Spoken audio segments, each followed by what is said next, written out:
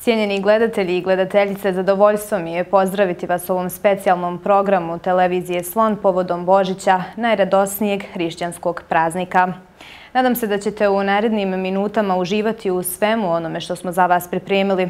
Govorit ćemo o tome na koji način se obilježava Božić, šta mu prethodi, šta predstavlja post i badnjak, te kakvi su običaji koji prate ovaj praznik. Stoga ostanite sa nama i u narednim minutama.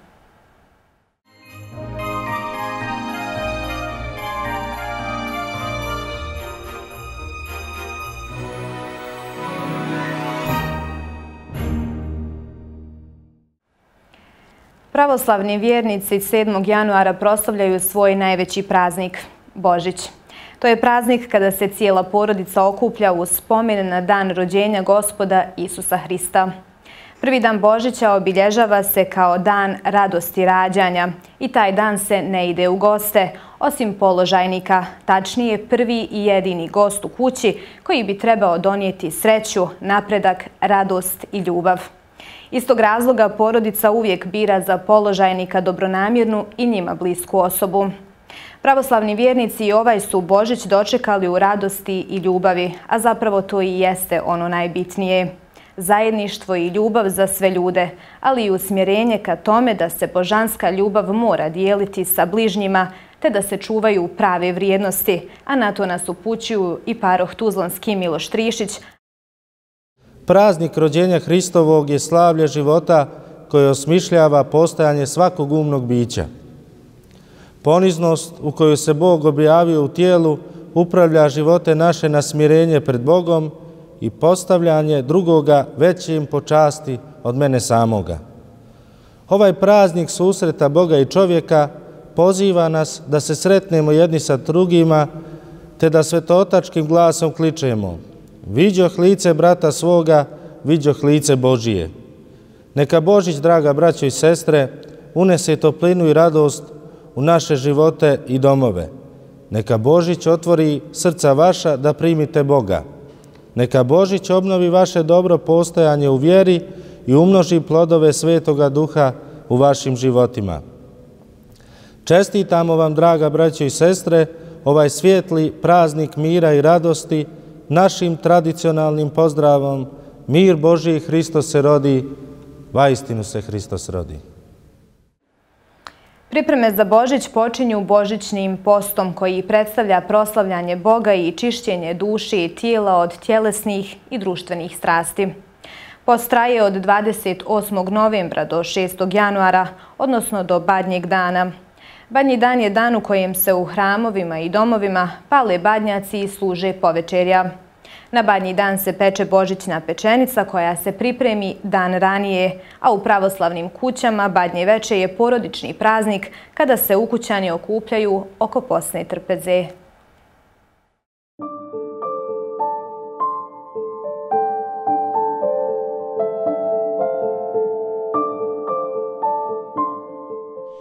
Širom svijeta pravoslavni vjernici koji poštuju julijanski kalendar danas obilježavaju Božić. Božić označava trenutak promjene u prirodi, završetak ciklusa koji je trajao godinu dana i početak novog vegetacijonog perioda. Tri nedjelje pred Božić proslavljaju se simbolično tri praznika. To su djetinci, materice i oci koji se e, proslavljaju tri nedjelje pred Božić kada se E, na djetince djeca simbolično vežu, oni se odrešuju što predstavlja kako gospod nama daruje e, oproštaj grijehova kada se mi kajemo, isto tako na materce i oci, pa se oni jedni drugom odrešuju kroz nazne poklone, neki slatkiš i tako dalje. Božić u prethodni i 40-dnevni post kojim se pravoslavni vjernici pripremaju za najradosniji hrišćanski praznik, rođenje Isusa Hrista. Božićni post počinje 28. novembra i traji do pravoslavnog Božića 7. januara. Tokom ovog perioda vjernici se uzdržavaju od mesa i mliječnih proizvoda i ne jedu jaja. Mi u stvari pripremamo svoje tijelo za da dočekamo radosno rođenje Hristovo iz duhovne strane post je da se uzdržavamo od svih grehova, ma kakvi oni bili, da se kroz taj 40-odnevni post to naše ponašanje, uzdržavanje prenese u tok cijele godine. Posljednji dan velikog božićnog posta je badnji dan. Tada počinje i proslava Božića. Domaćini odlaze u šumu po hrastovo drvo, odnosno badnjak. Prema običaju, badnjak se pali u oči praznika i gori do Božića, kada se objavljuje radost Hristovog rođenja. Na badnji dan se po pravoslavnom običaju vraćaju svi dugovi i sve pozajmljene stvari. 6. januara na badnje jutro ujutru domaćini i prijatelji odlaze u obližnju šumu gdje sjeku badnjak, e, hrastove grančice, donose kući i u crkvu i taj badnjak se uveče u crkvi na badnje veče osveštava i spaljuje i simbolizuje vatru koju su pastiri zapalili u Vitlenskoj pećini da ogriju Bogomladenca Hrista, tako i mi stojeći kod crkve oko Badnjaka krijemo tijelo i našu dušu i praznični dočekujemo svjetlo rođenje njegovo. Svi običaji imaju smisao hrišćanskog zajedništva, pa se smatra da se ljudi okupljeni oko badnjaka zagrijavaju ljubavlju i slogom, a njegovu svjetlost unose u mrak neznanja i praznovjerja. Nakon badnjeg dana i večer, jutarnja liturgija za Božić najveća je i najvažnija liturgija koja se služi na taj praznik. To je prilika za ispovjedanje duše i pričest, nakon čega vjernici odlaze svojim domovima gdje Božićuju majka, sestra, djevojka, domaćica priprema česnicu, to je božićni hljeb u koji se stavljaju novčić, kukuruz, so, badnjak, bilo nešto drugo i, svak, i onda se lomi ta česnica, okadi se kuća, zapali se svijeća kao za slavu, jer slavimo krsnu slavu, mi pravoslavci i je, Vaskrs, to su naše tri slave domaće, upali svijeće, okade ručak, pomole se Bogu i izlome tu česnicu i svako nešto dobije u česnici i osjeća tu radost, onda djeca u kući pijuču na slami gdje im roditelji stave razne poklone, slatkiše, čokoladice i bombone i tako da dočaramo i djeci radost tog praznika. Božić je prije svega porodični praznik koji okuplja sve generacije, ali ipak za one najmlađe uvijek ostane najljepša uspomena. Na ovaj način ne samo da se čuva tradicija, već se njeguju suštinske vrijednosti i toplina porodičnog doma.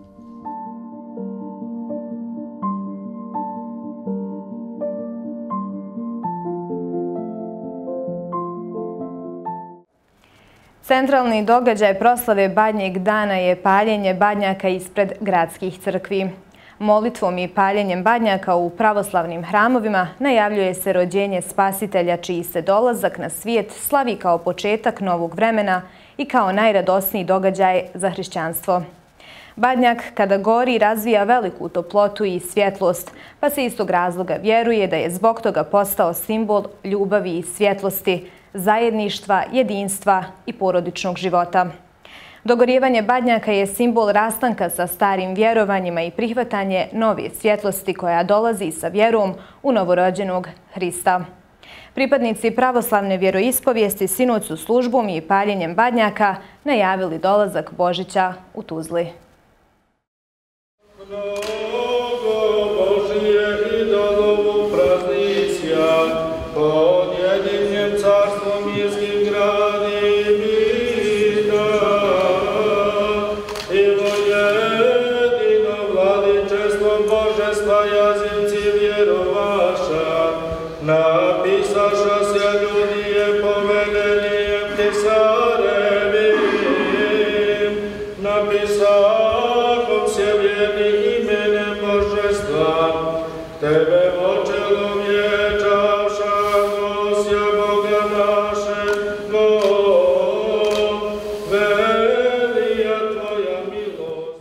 Posljednji dan velikog božićnog posta je badnji dan. Tada počinje i proslava Božića. Domaćinje odlaze u šumu po hrastovo drvo, odnosno badnjak, koji se pali u oči praznika i gori do Božića, kada se objavljuje radost Hristovog rođenja. Na badnji dan se po pravoslavnom običaju vraćaju svi dugovi i sve pozajmljene stvari. Badnjak je večera zapaljen i u dvorištu hrama Uspenja presvete Bogorodice u Tuzli. Rođače, donosiš nam mnogo sreće, svakog dobra bude. Nek nam godina Božija bude blagoslovena, Gospod Bog da čuva vas i vaše u domovima. našu djecu, svu djecu ovog svijeta. U dvorištu hrama Uspenja presvete Bogorodice u Tuzli okupio se veliki broj vjernika koji se raduju Božiću.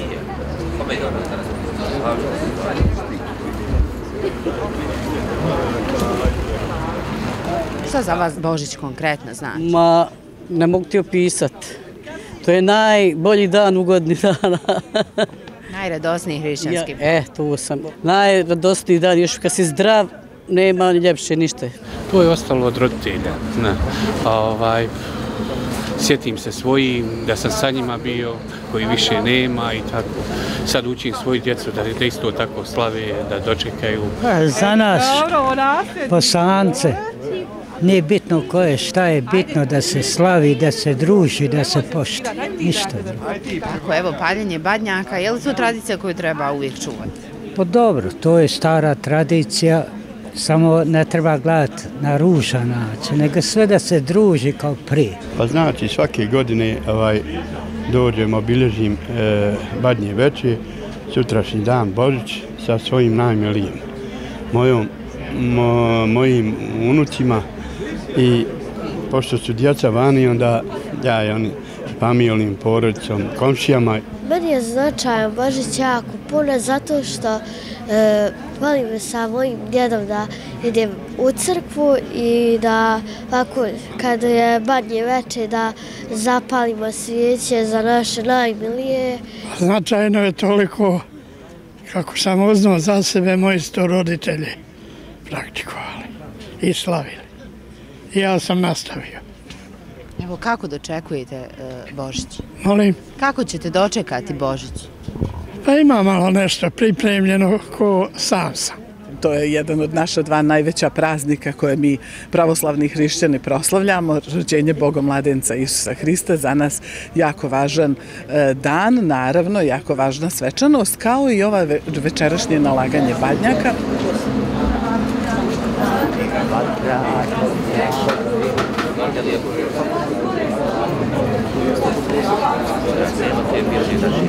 Gracias.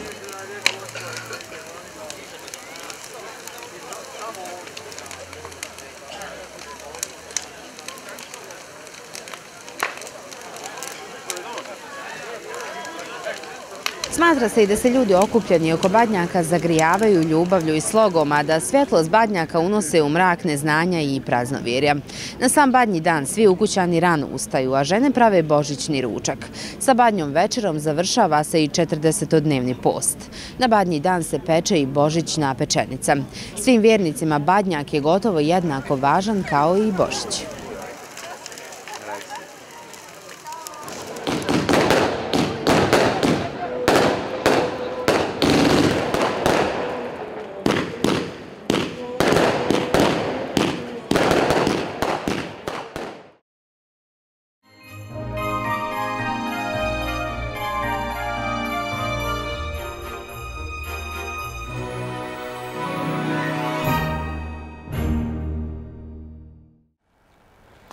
A duh Božića duboko je urezan u srca pravoslavnih vjernika koji, ma gdje god da ih život odveo, ne zaboravljaju ko su, odakle su i kakvu simboliku ima taj praznik još od davnih vremena.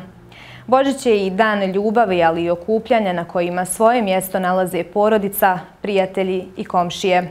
Ujedno je ovo prilika da se svi vratimo svojim korijenima.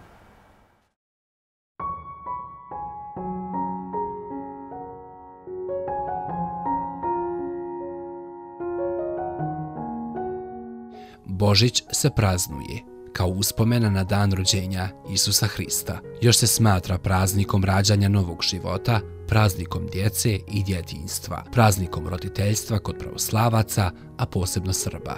Božić je ujedno i dan ljubavi, ali i okupljanja na kojima svoje mjesto nalaze porodica, prijatelji i komšije, koji zajedno proslavljaju ovaj važan dan. Ipak, praznicima se najviše raduju oni najmlađi. Božić je porodični praznik, svi su tada u domu, svi su u kući, djeca su srećna, djeca se inače raduju svemu jer su bezgrešna, sveta, nevina, ona se najbolje raduju svim praznicima, tako da i gospod rekao u Svetom pismu i Evanđelju, ako hoćete da se spasete, da budete, ugledajte se na djecu.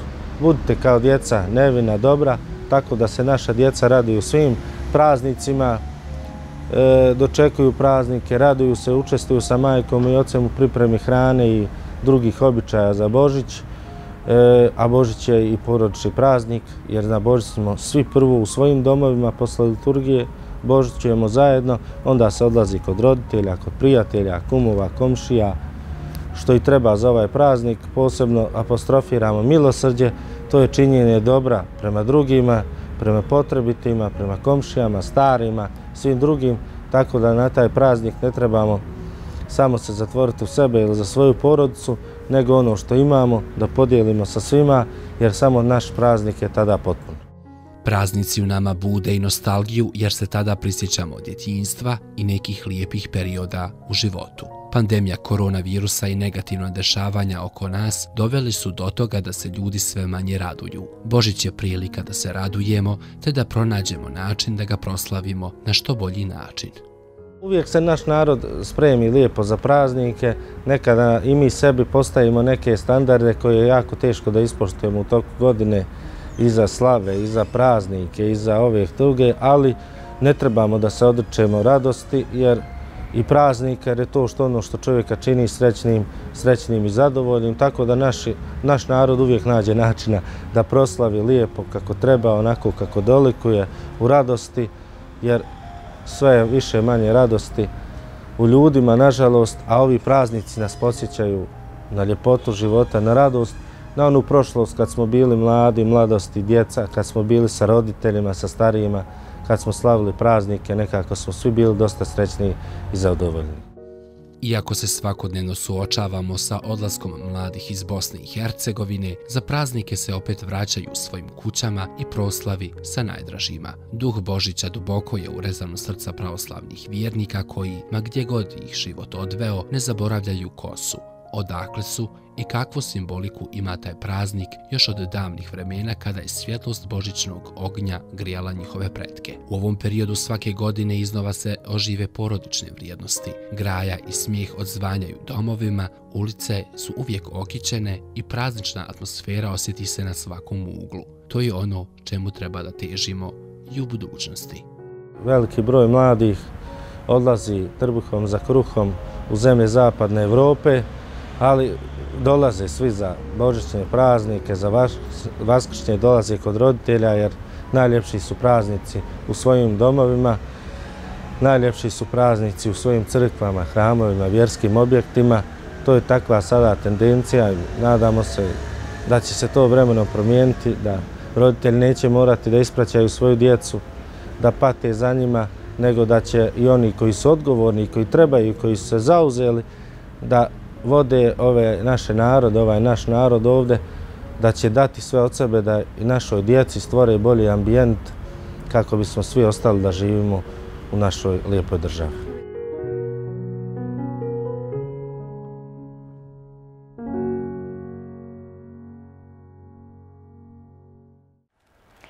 Liturgija koja se služi za Božić najvažnija je liturgija koja se služi na taj praznik. Pravoslavni vjernici odlaze u crkvu na pričesti da se ispovjedaju. Saborni hram uspenja presvete Bogorodice u Tuzli dokaz je postojanja jedne kulture i naroda. Od osnivanja pa do danas doživio je nekoliko značajnih reformi koje su doprinjele njegovom očuvanju. U prošloj godini izvršena je peta rekonstrukcija u čijem fokusu je bila obnova vanjskog izgleda hrama, ali i uređenje samog enterijera. U nastavku pogledajte priču o sabornom hramu koju smo za vas pripremili.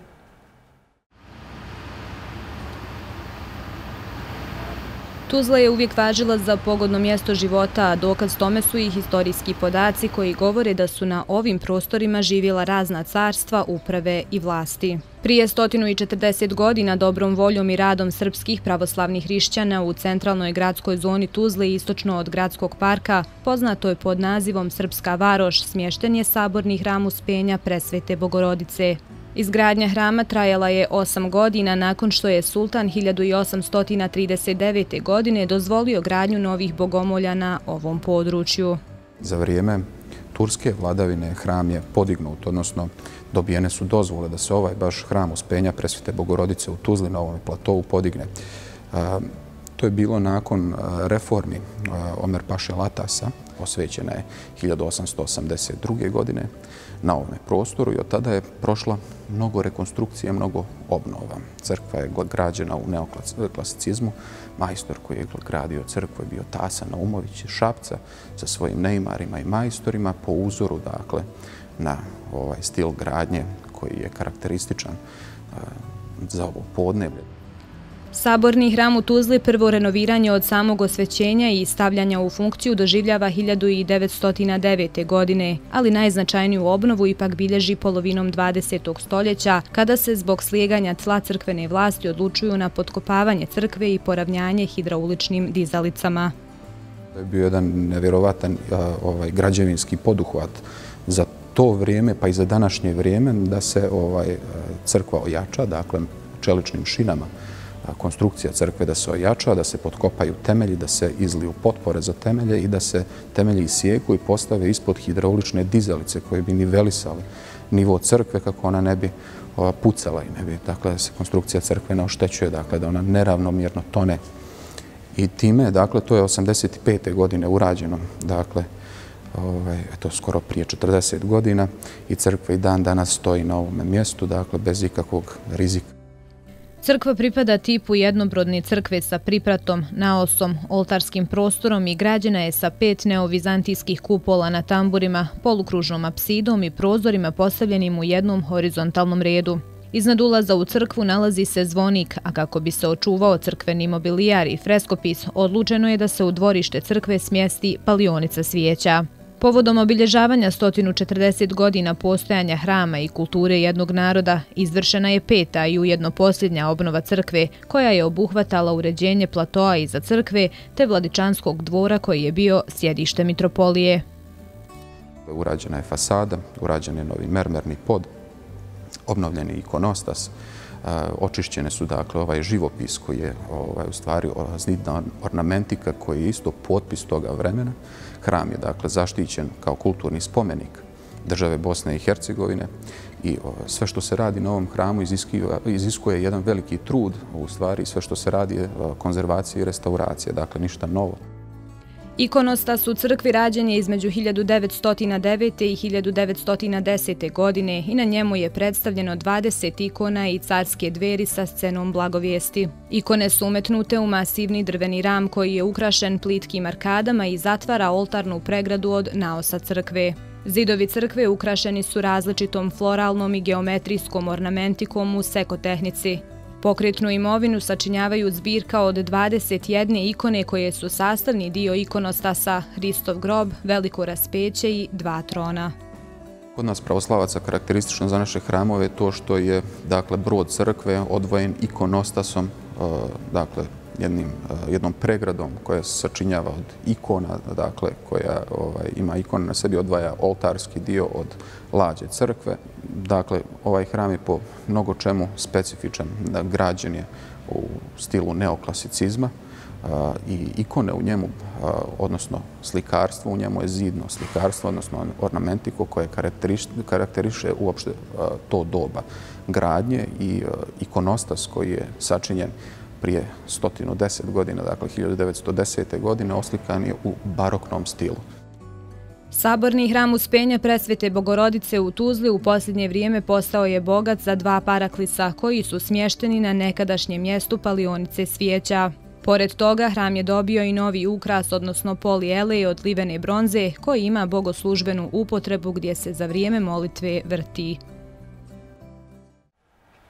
Cijenjeni gledatelji, bilo bi to sve što smo vam pripremili u ovom specijalnom programu. Nadam se da ste uživali i da smo vam bar malo uljepšali ovaj praznik. Želimo vam puno mira, zdravlja i ljubavi i neka vam ovaj Božić bude najradosniji do sad. Mir Božiji, Hristo se rodi.